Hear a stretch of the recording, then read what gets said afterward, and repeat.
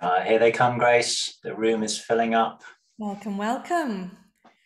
I feel like we should have virtual prizes. If we did, um, first prize would go to Gillian McNulty, who is the first to arrive. Oh, there you go. I didn't think it was a race, but there you Closely go. followed by Dom. So lots more people coming across the virtual doormat. We'll just let the room fill up for a bit before we start things formally. But welcome. Oh, Gillian's actually quite excited about being the first in. So there you go. That's good. Fantastic. Brilliant. Yeah. Um, head on over to the chat. Let us know what's on your mind when it comes to trust right now, why you're here. Um, feel free to let us know where you're joining us from, whether that's what organization you're joining us from, or what geographical location, or just what location within your house or office. Yeah. Shed, attic, back garden, sun lounger uh, in on the lawn or in the actual office Ooh. maybe in a coffee shop on a train who knows but there you go dom says it's sunny in wood green i'm presuming that's a description of the today's situation in wood green not its official all the time name we shall see both says dom dom's also a really fast typer as well which is fantastic Gillian is in an attic. There you go. See, we're not joking. That kind of stuff is still happening as well. Hey, Teresa, in the newly kitted out home office, repurposed. Hey there to Maries uh, in Bristol. I'm not too far from Bristol. I'm over in North Somerset as well. Got people in the dining room and the office and the summer house and the bedroom, all that good stuff as well. John, in a real office with 3D human beings. How is that going? Are you all kind of staring at each other going, it's you? I either haven't seen you for years or I actually have never met you before. So there you go. The funniest thing I found with meeting people face to face that we've only previously met online is is height. Okay, Yeah, because Yeah. you don't get a sense of people's height on a virtual space. So not particularly, but there you go. Excellent. I think we may have most of the initial rush now, Grace. Um, the room is still a few clicking in, but it might be time to uh, to get going. So take us away. brilliant. Thank you so much. Uh, so yeah, welcome everyone. Really great to have you here. Uh, for those of you who don't know us, who haven't worked with us before, uh, my name is Grace Marshall, and I'm joined by my colleague Lee. And we are both productivity ninjas. Those are that's our official job title. That's actually what it says on our business cards, on our LinkedIn profile. Lee's going to show a business card now. Is he? Oh yes. Yeah, there you go. So good stuff. Well prepared as always. and we are part of a team at Think Productive where we are on a mission to transform the way that people work. So, to help people find ways of working with um, less stress and less overwhelm, and more what we like to call playful, productive momentum. So, what we're really interested in isn't how do we get people to do more work necessarily, it's more about how do we all do our best work, have fun doing it, and have a life outside of work. So, if that sounds good to you, that is what we are all about. Uh, most of the time, Lee and I work within organisations, so we go and we'll rock up to your um, away days and your staff conferences and um, present some keynotes on the way of the productivity ninja. Or we might come and work with a team um, for a half day getting your inbox to zero workshops or a full day of getting your second brain set up with how to be a productivity ninja. Um, these sessions are designed to be a little bit of a mini taster and a bit of a skills booster session. So, for those of you who have worked with us before, this is in addition to what you've already got from us. And for those of you who haven't worked with us before, hopefully, this is an, a good sort of taster of the sort of approach that we take and the um, insights and the tips that we share. So, today we're here talking about building trust in today's world of work.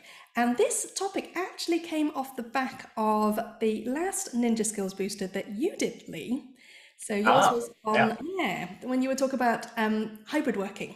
We did. And we had a great day that day. We did. I remember getting very forthright about certain things. You did indeed. Yeah. So if you missed that session, you can go and uh, uh, watch that on our YouTube channel. Um, but the thing um, that came up in some of the questions, some of the chat of that session was, hmm, okay, how do we build trust? So maybe it's how do we build trust in a space where we maybe haven't met each other, in that kind of hybrid world of working, but also some of the conversations were around you know checking in with each other and contact and accountability, and how sometimes an attempt at accountability might come across as oh, that feels like you don't trust me if you're trying to hold me accountable. And so it felt like that this was a topic that's worth exploring a little bit more. And we have various sessions that kind of feed into this topic. So what I've done today is just pull together a few thoughts and ideas and insights from some of those sessions to um, to pull together you know some some insights for you to take away, but also just to start the conversation and to hear from you as well. So this is how it's going to go roughly. Um, yeah, we'll look at why trust matters, but also why now, why trust matters now more than maybe more than ever. Um, and then we'll we'll share some ideas with you around building trust, but also I'm keen to hear from you in terms of what do other people do to earn your trust? Um, what do you do to try and build trust? Because I think um, you know a lot of this is we can learn from each other as well. So why trust? Well, we're big fans of it, aren't we, Lee? Oh yes, makes life so much easier, much um, smoother. In fact, it's even part of our values. So it's one of our values is that trust and kindness are our rocket fuel. That's how we feel about it. And yeah, so it's it's safe to say we are big fans of trust. And it matters because trust affects our motivation and it affects our engagement. And our engagement is often the biggest thing that, that improves a whole load of stuff. So, as you can see here, loyalty. Trust increases loyalty, whether that's customer loyalty, but also loyalty to each other within an organization, within a team, also loyalty with our suppliers, with our stakeholders. And that loyalty goes both ways as well. When we feel trusted, um, you know, it's easier to get stuff done in an environment of high trust. So our productivity increases as well. And it also improves the work life experience. We enjoy working in environments of high trust with and with people we trust. So no wonder staff turnover goes down as well. Um, and then, of course, that, that leads through to the bottom line as well, because when we feel trusted, it fuels our commitment, our motivation, our drive, our energy. We can get behind things you know, much more, and you know, and, and that has an economic benefit to it as well. So you know, we find that actually when there's low trust, there's a lot of friction. It slows everything down and it increases cost. It becomes more costly, takes longer to get anything done. And of course, the opposite is true as well. When we've got high trust, it speeds things up and you know, it reduces the cost of getting things done. Stephen Covey talks about this as a trust tax or a trust dividend. So if you've got low trust, you're paying a trust tax there. Things are costing more. Um, but if you've got high trust, it pays off like a dividend. Um, and these are some of the things that you know, come from our leading hybrid teams, and it's some of the things that you know, have come up in conversation when we've been working with leaders and managers on how do we lead in this kind of new world of hybrid working. This is normally an exercise we do where we get people thinking about which ones of these do we relate to more. Um, we're not going to do that exercise today, but you can use it to reflect. You know, do I notice more of those high trust behaviors within my workplace? Or do I notice some of those low trust behaviors within my workplace? So when we've got high trust, we tend to talk straight. Yeah, we tend to say what we mean um, and do what we say as well. Whereas when we have low trust, we might find there's a little bit of hedging our bets, being a little bit more cagey, maybe double talking, maybe thinking, oh, I can't say it that way. I've got to say it a different way. Um, so there's that costs in itself, doesn't it? Yeah, there's a certain amount of work involved in doing that. Um, but also there's a difference in focus when it comes to high trust and low trust. Um, you know, in terms of low trust, we tend to focus on delivering activities. It's like, look at how many emails I've sent. Look at how many meetings I'm going to. Whereas in a high trust environment, we might be more focused on delivering results. And that's also where some of that those productivity benefits come from. I know which one I'd like to be in. I'm looking. I'm looking to see if there's reactions in the chat to green list and red list, but maybe maybe we're just all of the same mind. I think it's a really good diagnosis, though, as well as pointing us towards the importance. Love it. Yeah, definitely. And then this is what sits behind a lot of those behaviours. So I think none of us looked through that red list and went, "Yeah, that's what I want to do." But I think maybe sometimes we can recognise where we might fall into that trap and the reason why we might fall into that trap comes down to a lot to our lizard brain. So, our lizard brain is a primitive part of our brain that is responsible for keeping us alive. And it does that by activating the fight or flight stress response. Problem is, it doesn't differentiate between physical threat and a social threat. Because back in the day when we all lived in caves, um, they were one and the same. If you get rejected from the tribe, You can't survive on your own. So a social threat is a life threatening situation, or it was back then. Nowadays, if we don't feel safe around each other, if we don't feel like we trust each other, then our lizard brain is going to be busy trying to put in place self protection mechanisms or maybe self promotion mechanisms. Because the other thing that happens with lizard brain is it goes, oh, everything's competition. It's survival of the fittest. So actually, I need to make sure I'm the one that comes out on top. We might you know, think in that sort of scarcity and competition mode rather than necessarily collaboration mode. That makes the work a lot harder as well. Those of you who have worked with us before may recognize this slide. It's my favourite slide in all of the decks. and we usually use the slide to talk about the cognitive load. So, brain overload, like we've got far too much to do, it's all in a mess in our heads. And if you look at each one of those things, it's not just something to do with, it's usually some thinking involved, some decision making involved. Now, imagine if all of those post it notes had an emotional load involved as well. Because if we're in a low trust environment, it often does. It's like book a meeting room. Hang on a minute, who's going to nick my meeting room? Um, or if I don't trust the system, is it going to actually hold? Or is someone else going to turn up in the middle of my meeting saying, We've got this room booked? And that seems like a silly example, but actually, if you start, you know, looking at if I don't trust, you know, if I need to get back to my boss, what does that look like? It might not be a simple email. There might be a lot of stuff going on in my mind in terms of how do I need to put it. Um, so this is what happens: is that we increase our emotional load um, when there's a low trust environment as well. John's put a really good uh, thought on that in the chat, Grace. Um, mm. John says, This is so strong. The vulnerability of transparency and authenticity are built on a foundation of trust. And so we behave really differently if we can trust and feel trusted. So, um, John, John's John's on our on our on our line here when it comes to the importance of trust, virtually, and that idea that we behave differently in the presence or the absence of trust. I think that's really strong there. Yeah, absolutely, and that's why it's so important to build you know trust because building a culture of trust is a key component to building psychological safety. And when we don't have psychological safety within our teams, we're going to start seeing each other as a threat or there's a potential that we will start seeing each other as a threat. And when that happens, our attention and our focus can't be solely focused on the work because part of our attention and our focus will be focused on protecting ourselves. Am I safe to say that? Am I okay doing that? You know, I've asked that person to do it, but are they actually going to deliver? And so we go into that sort of battle mode or avoidance mode or defensiveness. You know, our lizard brain goes into vigilance mode. And that not only takes up you know, attention and energy, it can also create a lot more work. Because imagine an email trail where nobody's actually saying what they mean. That's going to end up getting, you know. Yeah, that's not going to help. no, it's not, is it? yeah. So, what we find is that when we have psychological safety as a team, as an organization, um, what we find is we have um, free discussions, open discussions, honest discussions, uh, low friction discussions. And as a, a, result of that, we get a wider perspective as well. When people feel safe to contribute, and then we get a diversity of thought. We get different ideas rather than just let's stay safe and, and all kind of pretend to agree with each other. And of course, the opposite is true as well. If we don't have psychological safety, there's a lot more second guessing, self censorship, maybe perfectionism as well. Like, I'm not safe to make a mistake or take risk here, I have to be mm. perfect um, and a lot of worry and anxiety that holds people back from doing their best work and showing up as their best selves.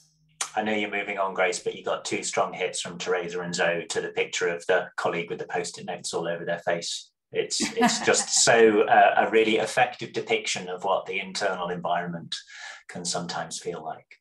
Yeah, absolutely. Um, and so why now? Why in particular is you know is kind of trust such a key thing at the moment?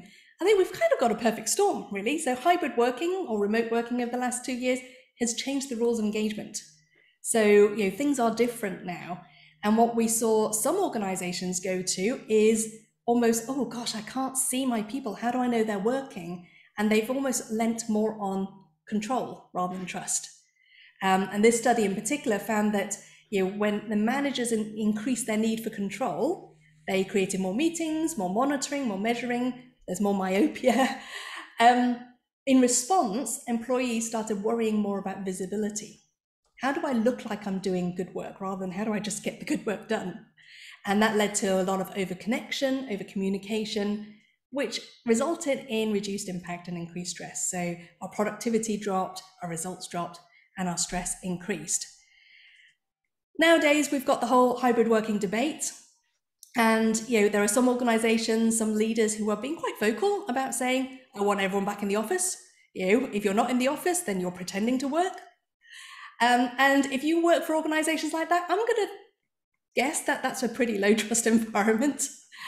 But even if you don't, with that rhetoric happening in the background, some of us might start worrying about some of that visibility and what other people might be thinking, what our, you know, what our bosses, what our leaders might be thinking. The other thing that's happening is we've got dispersed teams.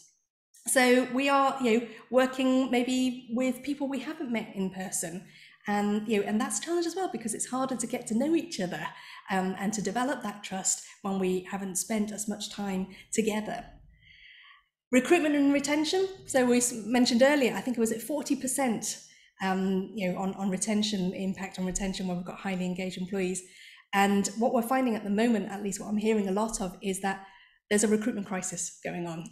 And some organizations are responding in a way of trying to match that by increasing salaries. But actually, there comes a point where we can't keep competing on increasing salaries. That's unsustainable. How do we do that? And actually, you know, one of the things that um, I was in conversation with uh, uh, some consultants on recently who were talking about this was what if we started competing on care rather than competing on price? Um, because let's face it, an increased salary might attract us to a job or an organization, but actually, what keeps us there is how does it feel to work here? Do I feel like I'm contributing and my work is valued? Do I feel like I'm valued here? you know, do I enjoy the people I work with? Do I feel like I'm making a difference? Those are the, often the things. Do I feel like I'm looked after? That the, you know, that people care for me here. Those... I've certainly noticed, Grace, that conversation is a lot on a lot more people's minds, not just recruiter staff within organisations, but but team members. Mm. And you know the the new perspective that the last couple of gears have given us. Um, different things are on our mind now when it comes to creating that relationship with an employer and connecting that to lifestyle as well. Uh, I know you have some more to say about this slide and the next one, but we already have one discussion question queued up for the next time that you invite some uh, some thoughts from the from the panel. Yeah. Please carry on. Brilliant. Okay. Um, I'm not going to look at the chat right now because otherwise I'm going to get distracted. um, yeah, and the final thing I'll say on this is uncertainty. So when uncertainty in general is high, I think it has a generalized effect on trust. So I would say I'm quite a trusting person. But I've noticed that when I'm feeling uncertain, that lizard brain, you know, is more sensitive. It might, you know, I start kind of worrying a bit more. I start getting a bit more defensive. So I think that's a really natural reaction to uncertainty. And given that we've just been through two years of a pandemic and things are still uncertain now, we've got, you know, fuel shortage, you know supply chain crisis other things big things happening in the rest of the world you know there's still a lot of uncertainty going on so that will have an effect on um, how much trust we feel we have um, you know in, in in life in general let alone in each other so i just want to pause there and see you know what's resonating with you what um, do you recognize maybe in your own behavior or in others within your environment um, you know, and how does trust affect your productivity? So, what do you find happens when you don't have trust, um, or you know, when when you don't feel trusted, or either when you don't trust someone or something? Great. So, well, people are heading to the chat to offer those. Could I um, ask you Oliver's question?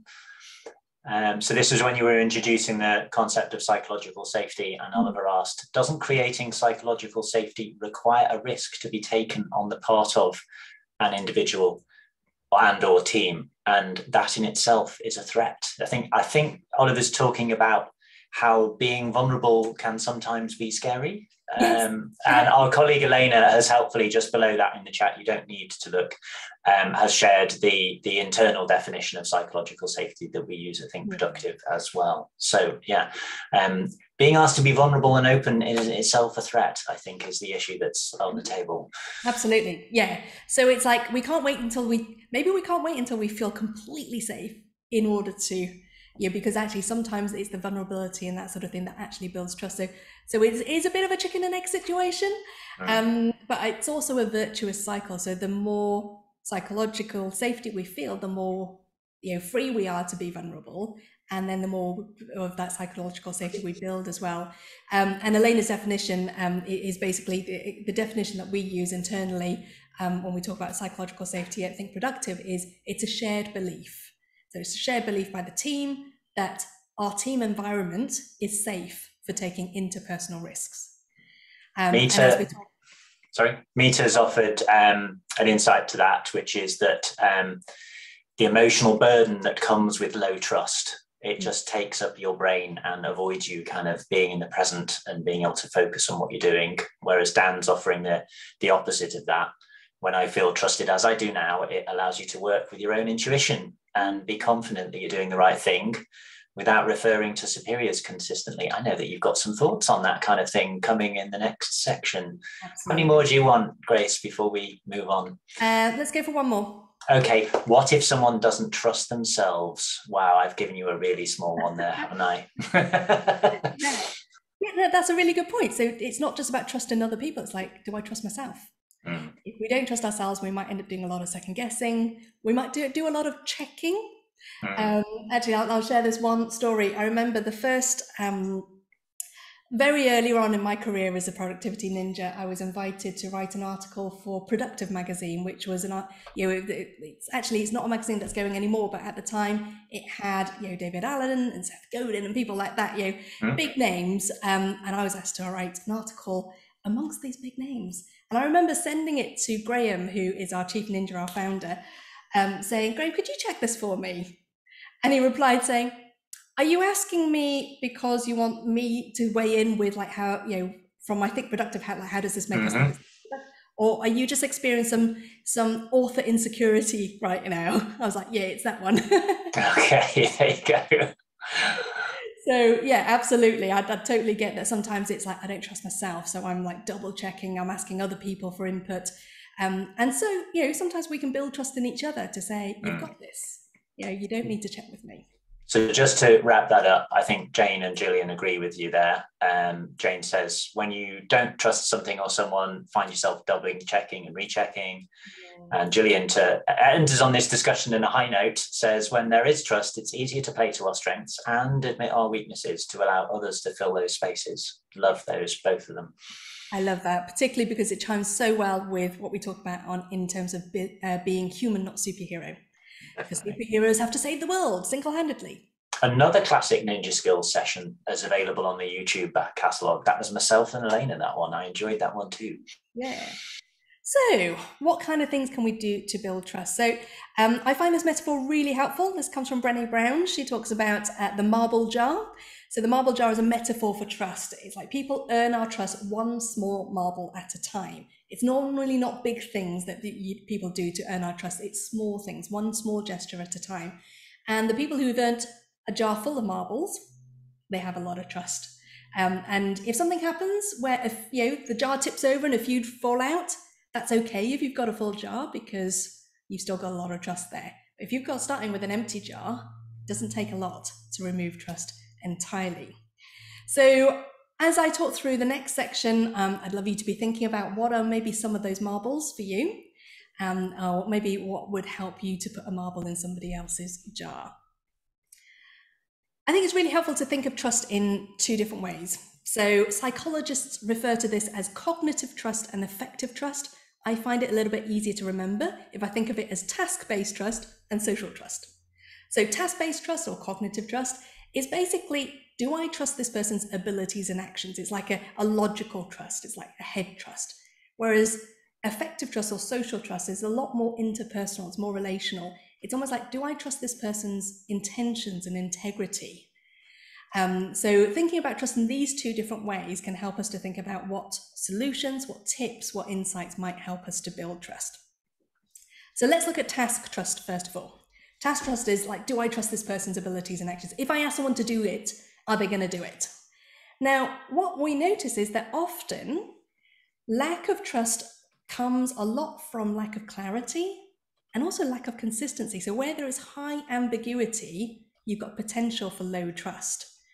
Um, so when it comes to building task trust, it, what can be really helpful are some of the things that we talk about in some of our other workshops around clarity. So um, clarity of vision, for example. Are we all clear about what we're doing and why we're doing it and how we're going to do it? Because if we're not clear about it, we're going to have different people going in different directions, but also feeling maybe a little bit resentful that other people aren't pulling their weight. And actually, what's happening is we're just all pulling our weight in different directions. Um, so, you know, sometimes that kind of clarity is really, really helpful to make sure that everyone understands, okay, this is what we're trying to do. Because if we all have that shared understanding, we can trust each other that we're all pulling towards that direction. It also comes from maybe how we lead and manage as well. So, in our leading hybrid teams, we talk about the shift from managing people to managing outcomes, the shift from taking control to giving control. And when we do that, instead of having to build systems and things to monitor, we're really building trust. And what that does is it creates an outcomes based leadership style.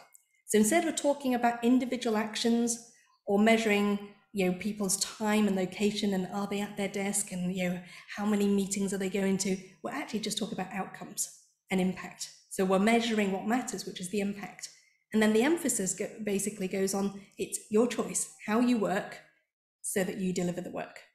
So we have to be clear what the work is. We have to be clear about those outcomes. But then once we are we can then hand over the reins and let the person doing the work decide okay what's going to help you know what um how am i going to work? And what's going to help me to deliver that, uh, what matters here which is the outcomes and the impact.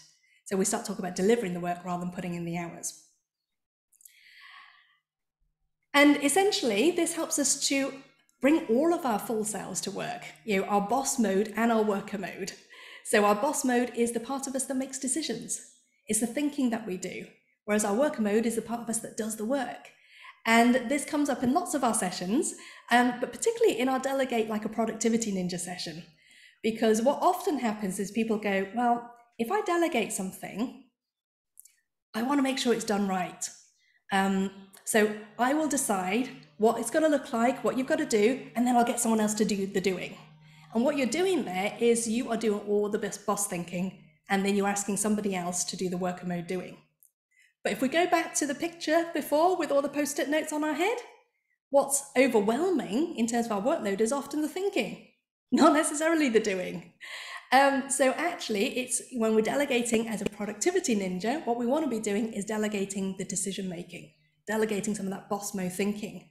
And if we're clear about those outcomes, we can then trust that that person will make the decisions. They might not make exactly the same decisions as us. They might do it differently. They might even do it better. Um, but it means that you've got their brain working on the problem, not just their hands. Now, some of us might be thinking, yeah, I like that, but I'm also a bit of a control freak. um, what if they don't do it right? What if they overstep? Um, or what if they go completely down one route and then I get it back and I'm like, oh no, I'm going to have to redo it now. Um, and that's something that comes up a lot in our delegation workshop. And that's where this um, little helpful metaphor can come in handy. So you've got to love an egg-based slide, like to illustrate some subtle point about delegation. We also have a cake slide in our delegation workshop, but you'll have to come to that workshop to see. but here we're talking about setting boundaries in terms of, um, you know, if we're clear about our boundaries, if we're clear about, um, you know, here's the bit where you can make decisions and I will back you. I trust you to make the decisions within this. Whatever you choose, I will back you on that. The, the white is basically if you move into this area, check with me first, and we agree we can agree a way forwards. And then the frying pan is just don't go there. Yeah, you don't want to go in the frying pan. I just worked out the punchline of that illustration. Exactly. Um, and, but actually, when you're clear about that, you can trust that that's that shared expectation that you, you know when they're going to come to you, when they're not. But also, if you're on the receiving end, if you're being delegated to, it's really helpful to know where those boundaries are. It's like, great, I know I'm trusted in this bit, and I know this bit is where I need to talk to you about. So there's no kind of mismatch of expectations there. John's liking the idea of delegating some thinking. I think there might be some reallocations of some of that stuff as a result of this afternoon. Brilliant. And then we've got um, being clear about comms. So sometimes we don't feel trusted because someone keeps chasing us or someone wants to be copied in on everything. But also sometimes we feel like I, I need to know what's going on. You know, or if I send you an email, I want to trust that you're going to come back to me. And a lot of that comes from the mismatch of expectations when it comes to all the different types of communications we've got going on. And so if that feels like an area that's like, yeah, I recognize that, then definitely look into, um, we, we do a session called Supercharge Your Team Comms, which is basically about getting really clear around the rules of communication. What channels do we use for what kind of communication? What's the expectation? What's the response time? Because when we have those things clearer, you reduce a lot of that ambiguity that has the potential to erode trust. Grace, can I offer a contribution that Kat shared a few minutes ago? But I think it might be good to bring it in now just to sort of provide a background to where you're going next with social trust. Because um, we, have we talked about task trust. We're moving into a different kind of trust in a minute. Kat said, um, when we have trust, it will also foster empathy, mm. allowing leaders to welcome the types of discussions that are typically taboo in the workplace mental ill health, bereavement, etc. It fosters inclusion and a holistic approach to well-being, and is therefore and therefore happiness and fulfillment at work. So, so that kind of deeper, more relational, social trust. I, I know that you've got some things to share with us about that. So, I wanted to bring Kat's thought in there, which has had a lot of love in the chat as well yeah. since it was posted, including from me and Elena. Yeah, absolutely, Kat, and that's that's essentially what social trust is is like if we trust each other as people, if I know that you are for me, that you have my back, then we're in collaboration, we're not in competition. Yeah, we're in this together. It's that kind of social trust, yeah, and that is really, really powerful for exactly what you've said there. Um, ways of building social trust. Well, you know, it's a really basic thing. Spending time together socially really, really helps. Just getting to know people. Um, I've always found that you know, as a team, because us ninjas we work remotely, but whenever we're able to come together, particularly when we're able to meet maybe some of our HQ team for the first time in person, in like I want to say 4D rather than 3D. you know, How many Ds do you want? I always feel like that's when I always notice that after those meetings, everything works better. Yeah. Like we understand each other better. There's less stress, less anxiety. There's you know, there's, it just works. And some of it isn't even conscious. It it almost works as a, at a subconscious level. I think a lot of this comes down to one of our sessions called influencing persuading. There's a, a, a stat there that we share around how 93% of communication is non-verbal. You know, a big part of that is body language, and a lot of that is lost when we're like kind of just limited to these little screen boxes. So when we're able to spend meaningful time together, that helps to build rapport, it helps to build relationship, um, and you know, and, and that that goes a long way to helping to build social trust. I am pumped about our own two-day gathering next week, oh, which will be the first time we're all together in person since just before Christmas. Um, and yeah, of course, we have some work things to talk about, but a large part of that time spent together is going to be just about being together mm. in a social, personal, real kind of way. And it must never be underestimated how much that stuff is important as well. Uh, Megan's just, uh, I haven't read this one, but I'm going to assume it's it's apposite to what we're talking about now. Megan says, We're a newly formed team from two sides of the business and we're getting together next week for a workshop day. I think it's going to make a huge difference. There you go. I was right. I knew Megan was going to be thinking down the same lines. Yeah, definitely. And you know, and, and so like finding opportunities to do that, to come together physically, but also finding opportunities to weave some of those social conversations into our everyday work. So maybe at the start of a meeting, maybe engineering some water cooler moments. Um, so we have um, you know, we have a, a wormhole thing that we do every Wednesday where anyone who wants to at a particular time, we can just all dive into Zoom together and just work on our own stuff that we can see each other. Those are little opportunities. It's not quite the same as all being physically together, but it still helps. Um, so we have things like that. We have town halls where we can air stuff and, and, and kind of discuss things and bring things out into the open, maybe have some of those um, more kind of tricky conversations or air what we call our stinky fish, which is like, this is something that's niggling me like if I keep it hidden apart, it's going to keep stinking. But actually, if we bring it out, we can you know work it out.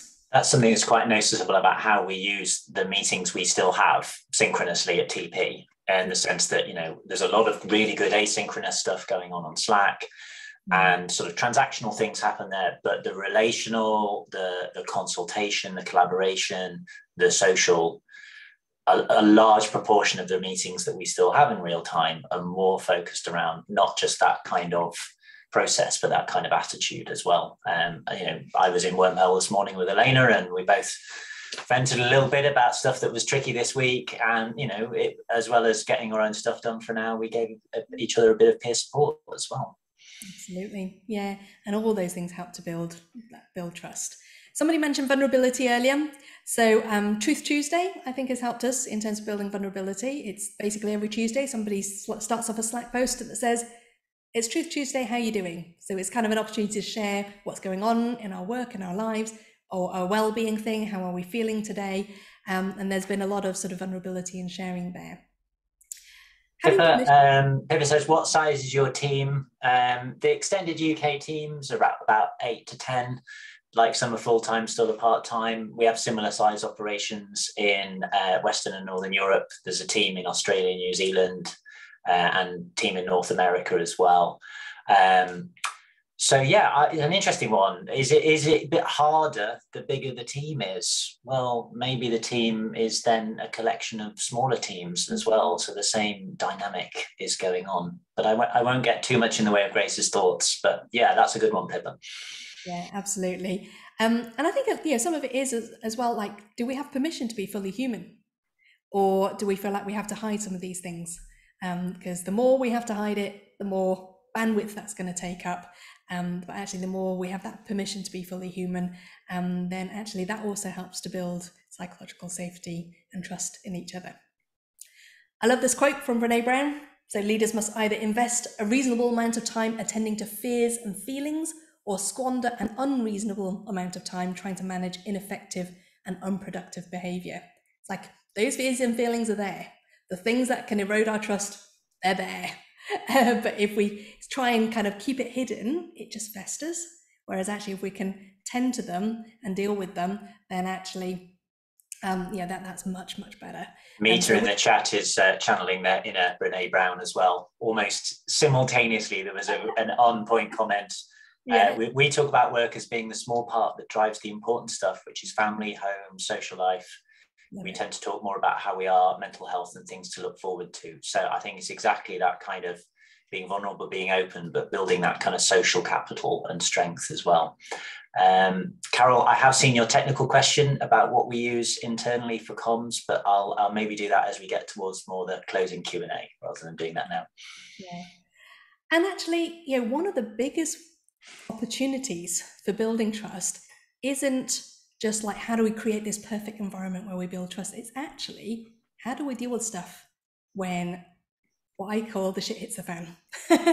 You know when uh, when we get it wrong when things go wrong when we find ourselves in conflict. You know those are actually those feel like the the, the, the danger moments in terms of when trust might be eroded but actually they can also be real um, opportunities to build better trust because let's face it we are all human we do get things wrong um, there's a story that I tell in our new session called Struggle, which is based on my book, which I'm going to do a little plug for. Love it, love it. Poised to be shown on camera at a moment's notice. so, yeah, so the book is Struggle The Surprising Truth, Beauty, and Opportunity Hidden in Life's Shittier Moments. We can keep it clean. If your organization wants yeah. me to keep it clean, we can talk about shiftier moments. It works just as well. Um, but one of the stories I share in that is about a time when I got something wrong. And you know I, I, it was a simple mistake but it had large knock-on effects. But one of the things that really shone through in in how elena who's on this call responded was you know i first of all i felt able to go i made a mistake. I messed up. And rather than try and shift the blame or hide. But also elena's response to me was hey grace you're human because it's a really vulnerable place when we make a mistake. It's really, really vulnerable. And even if we go, yeah, I know we all learn from mistakes, you know, we've got that rhetoric in our heads, it still feels really vulnerable. And so to have someone meet us in that mistake with, hey, you're human, it was a place where I felt like I was falling and then I felt like I was caught. Um, so how we respond to each other in those times of mistakes can be real opportunities for um, for building trust. Um, and you know, maybe responding to the person before we dive into the work of like how do we fix that? But also responding with that sense of empathy to go yeah we know. We're human too. We make mistakes. Okay we're with you in this rather than oh what did you do? Um, so definitely that. Um, there's another story that I tell, which I'm not going to tell now, so you'll just have to, you know, come to the workshop if you want to hear the full thing. But the idea of, um, you know, actually responding in a way that's very counter to how we would normally expect. We normally expect to be punished for making a mistake, but um, yeah, there, there's actually a story around someone who sent his team member flowers when they made a mistake, and that was to say, look, I know how you feel. I know you're going to be gutted about this. And these flowers are there to remind me how very rarely you make mistakes, but also remind you that if we don't make mistakes once in a while, we're not playing big enough. Um, and so this reminds me that actually sometimes our best response, or most powerful response to somebody being vulnerable, is just to say thank you. You know, if someone has shared something vulnerable, if someone has opened up about a fear, to say that first of all, rather than like, okay, what are we going to do about it? Just start with thank you. Like, thanks so much for sharing that. Um, because when you're thanked for it, it just tells your lizard brain, okay, I'm safe. It's okay. I haven't created a danger here. I haven't created a threat. So this is something that Graham often says is people first, work second, always. And I think that translates into how we respond to mistakes or how we respond to situations or even like the beginning of a meeting. Let's check in with people first and then dive down to work. Um, but also, let's prioritize people first, work second. So, if something has happened, if something's going on with somebody in, on a personal front, let's you let them know. Okay, we've got your back. This matters. You matter. The work will you know will will kind of look after itself, or we'll we'll we'll sort it out. And this is something that I think we've said to each other a lot, I Think Productive at various times. It's gone round, round the room, as it were. It's um, not just one way, it's, it's definitely gone between us. We've all had times when we've said this to each other, and we've all had times when we've needed to hear it from each other as well. And I think that's very much part of what creates that sense of psychological safety. Definitely check out the Human Not Superhero session on YouTube, where Elena and I both talk about times where, for different reasons, we each needed to really receive some people first, work second, always love as well. Yeah, definitely. So I hope that's been useful. Um, I was saying to Lee earlier this morning when we were sort of prepping for this session, this could be a lot longer. This probably could be a whole session in itself, but we just wanted to give you a flavour, give you some tips, but also signpost you to some of the other workshops that we run that um, dive into some of those areas in more depth. I know our official time is up in about four minutes, is it, Lee? Yeah. um, Lee and I are always happy to hang around for a little bit of unofficial after show. Mm-hmm. Um, but in the meantime, we'd love to take any questions that you have, but also anything you want to share about how you build trust um, or anything that you've heard today that's making you go, yeah, yeah, that's, I think, the next marble I want to pop in my jar or somebody else's jar. So while some of those come in, I'll start by answering Carol's question. Carol asked us, what do we use as tools within Think Productive? So um, primary internal comms tool is Slack. Um, it was in the before times, but it, we found it particularly useful um, now. is a lot more flexible, hybrid, remote than even we did before, and we were almost that kind of team before. Um, we use email internally very, very sparingly. It's mostly for customer communications and big formal like product policy, like procedure announcements that need to go across company. Um, Zoom is our main internal meetings platform. And in terms of what do we use for day to day task wrangling, I think we're a slightly different beast in the sense that semi deliberately, we all as team members use something individually different. So we've got things like Todoist, Trello, Asana, OmniFocus, Remember the Milk. Um, and it's also it's part of building up our own t- internal knowledge base about the kind of tools that that we might be called to help other people as well. Um, but yeah, all that good stuff um, very much falls under the, the category of the weapon savvy ninja. Uh, and again, more, more on all those kind of things um, on all the other resources that you can be pointed to.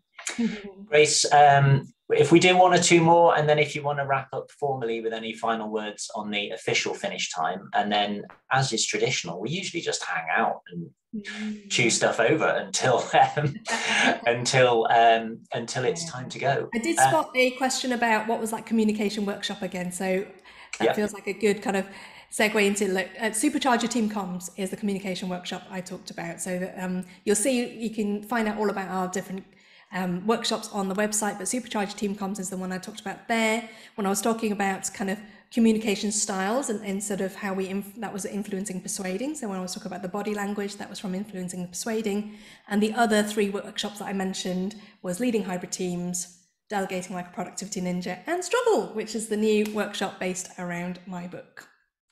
Dom has thrown us one at the very last minute and has recognized that it's probably a biggie, but also on Dom's mind is, is the process of recovering from broken trust as well as yeah. and refilling that jar or even reassembling that jar perhaps occasionally.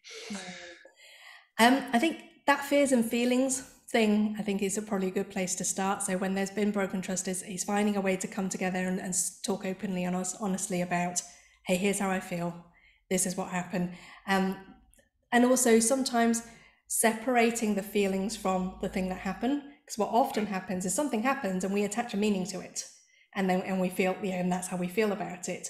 But to be able to kind of then start to unhook it to go, yeah, this is what happened and this is what I meant by that. This is what I took as a meaning. This is how it, you know, and actually being able to unpack. But it takes vulnerability to go into that space because it's it's like it, it's like rather than I'm going to go into fight and flight mode, it's like okay, I'm going to put down my weapons and be willing to talk with you about this to go okay, where do we go from here? So the, it's almost like you have to invest a little bit of trust in in order to then you know get the ball rolling, gather it up again. It's um, John has um, recognised uh, that they connected with your um, egg frying pan thing. Mm-hmm. Um, rather than worrying about someone what someone else could do wrong, I'm going to start thinking more about how to shepherd the areas of up to you, let me know, and no go. I even like those three. That might even be three better labels for our for our frying pan than. I think, yeah, I think there might be some changes happening to our slide there. We're going to. John, in that moment, you may have become an official part of Think Productive content. Yeah. there you go. Brilliant. The other two things to let you guys know is upcoming stuff. So, upcoming public workshops again are going to be on our website as well. Um, so, if there are certain sessions where it's like, oh, I'd love it if we all did this as part of a team, but maybe it's hard to get everybody on board first. Can I just join first? Like, if you're one of the ninja pioneers in your team, in your organization, come along to a public workshop because you can buy a ticket for that. Um, I think Haley is are running both of these um, coming up in September. Um, and then also we've got a project management one in October and uh, six weeks to Ninja, which Graham is running, um, mm. starting in November. The original OG Productivity Ninja. Yeah. and as well as all those paid uh, public workshops, this is an ongoing series of the free workshops. We've done these pretty much every month since lockdown one. That was our way of putting a little bit of productivity and well-being love in the world. So head to the playlist of all the past ones that you'll find on the Think Productive YouTube channel. And again, on our website, you can book your free places on the ongoing series. We've got ones for the next couple of months already up there and more going to be added too as well. So we'd love to welcome you again on any one of those. And Sally said a very nice thing about our double act. So that's a lovely way to, to end a mid-afternoon session as well. Fantastic, brilliant. Well, our official part of the session is um, is up. It's over.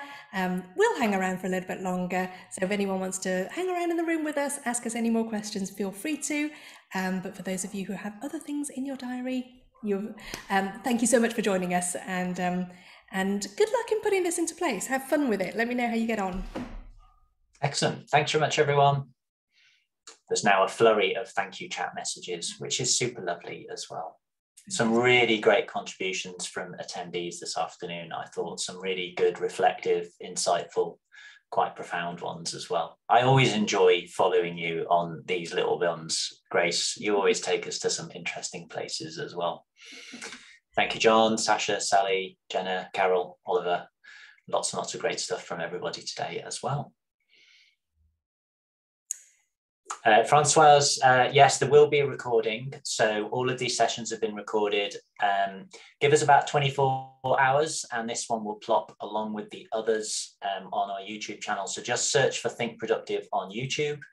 Um, and then there's various playlists uh, of different kinds of content that support some of our workshops. But one of the playlists uh, will be the Productivity Ninja Skills sessions. And this one will be added there along with about 20 others that are already there. So library grown there. Yeah. If if you're still here and this is the first time you joined us for one and you're thinking, oh, that was quite good. What else have they done? Um, we've done surviving e-well, overwhelm, fixing meetings, delegation, kindness in the workplace, human not superhero. What else have we done, Grace? Loads. Saying no. Yeah. Saying no and feeling good about it. Um, tackling the anti-procrastination beast, all that kind of stuff. So similar to today, they're often like ideas drawn from one or more of our formal workshops that we would bring to you in the workplace. Uh, but maybe pointed at a particular sort of question that we'd like to explore a bit more or to, to offer you some um, some additional ideas as well. John's about to subscribe to the YouTube channel. That's amazing. Mostly we're just happy for visitors, but subscribers is better. and you know, and and the ideas for these um, these particular um, sessions, these bite-sized sessions, come from you as well. So if there's a question you want to ask us, just send it through. Um, either come and find Lee or myself um, on social media, or um, you know, or the main Think Productive channels, or just drop us an, an email via our website um, and to say, you know, I'd love to, I'd love, I'd love you to take on this topic um, as a Ninja Skills booster, and um, who knows, we may well take you up on it. Elena, I know you're still on the call. Can you drop the uh, hello at contact email into the chat so people can know where to find us? Um, and uh, or reach out myself for Grace as well. So Grace at thinkproductive.co.uk and Lee at thinkproductive.co.uk as well. Mm final comment coming across the line from Colin. What resonated with me was when there isn't trust, I do the self promotion and also too many activities. I actually find myself saying, but I've done all the emails. I've never realized. Ah, yeah. So this this feeling that you need to overperform to survive in a low trust environment. You did touch on that one. Colin's um, sort of connected to that idea as well. Yeah, it, it almost takes away people's safety to acknowledge they're human, not superhero, when there's not enough trust around. Mm. Lovely connection across the different taster sessions as well. Cool. Well, we're still here, and there's still a dozen of you lurking, which is absolutely lovely. Um, so, if you are there just because you forgot to close the tab, then hopefully you'll remember that. But if you have got more questions, put them in. Best way to find us, John, um, both Grace and I, and all the other team members are on LinkedIn. Uh, we have reasonably unique names, so you won't find like a hundred Grace Marshalls on LinkedIn and not know which one it is. And yeah, uh, connect with us. Don't you, you? don't have to follow us. We're not celebrities. we certainly talk. are not. To talk, yeah. um, or reach out, uh, or obviously check out the website and the YouTube channel if you are curious as to what else do we do for people. Then the whole training range across the sort of conceptual space that we deal with. Mm-hmm. Um, is that, Elena's Elena's RMD, our boss? She's yeah. not here because she didn't trust us. I hasten to add. she, she's here because she's just really into this stuff, like the rest of us as well. So, um, so and yeah. she's super fast with the cut and paste. Fantastic. Okay, um, some of you may have small people arriving home from school soon. I know I certainly do. So I've got about another five minutes, Grace, um, to chew the fat. Mm-hmm. Uh, and if not, that's going to be my hard out. You can see why we schedule our free tasters from 2 to 2.45. got to do this stuff in time, family-friendly hours as well. Absolutely. Yeah. Any other thoughts now, Grace, as you've taken us through that journey? As our as our current person that's been doing the deep thinking about trust?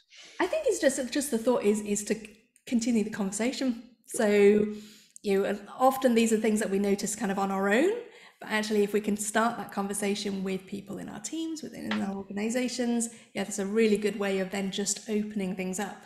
Um, because I think when we feel low trust, it feels like, oh, things, you know, either someone's against me or everyone's against me. And often that's not the case often we're all just kind of feeling a little bit defensive, and it's our defensiveness that rubs off um, or rubs each other uh, the wrong way. So maybe find ways of maybe introducing some of this into those conversations.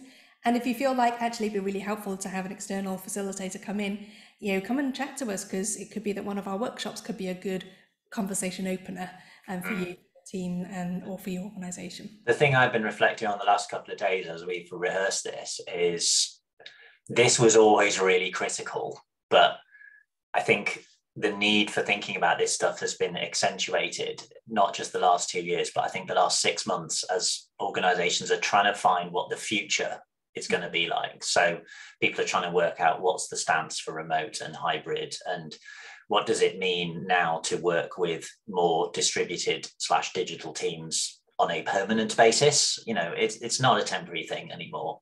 You know more people looking at four day week perhaps as a separate thing or in concert with their hybrid strategy as well. And all of that is tied in with lots and lots of things that came uh, from today as well. Um, i should probably do my duty and mention that if you're interested in four day week and you want to learn about how we do it um, head to the relevant page on the Think Productive website. Um, and Elena and Jess, who are our own two sort of internal leads on four day week, um, would be pleased to help you talk and think about that kind of stuff as well. There's a big UK based trial of four day week going on at the moment, and we are part of that as well. I think we may have a topic to address coming in from John. Building trust with more distant than my team internal stakeholders would be a really valuable topic. Interesting. Okay. And I can see Elena's been busy in the chat, sending people links and all sorts of stuff as well. We didn't even know you were coming, Elena, and it's been fantastic to have you here helping with the stuff that I was supposed to be doing, but I just haven't been able to resist getting involved in the chat. there you go. Fantastic. Um, I think we might be done then in that case. I suspect the remaining 12 people just don't want to leave before we've stopped spouting on. So maybe it's that. Fantastic. Oh, well, brilliant. Thank you so much for, for joining us. Um, and yeah, let's um, continue to keep in touch. Let us know how you're getting on in your ninja journey and do get in touch if there's anything that we can help with because we'd love to. Thanks very much, everyone. And see you all on the next one. Cheers.